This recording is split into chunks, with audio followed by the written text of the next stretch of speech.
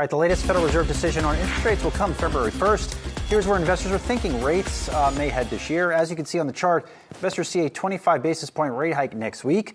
At the March meeting, another 25 basis point rate hike may occur. A pause in rate hikes is seen mid year, followed by a rate cut by November of this year.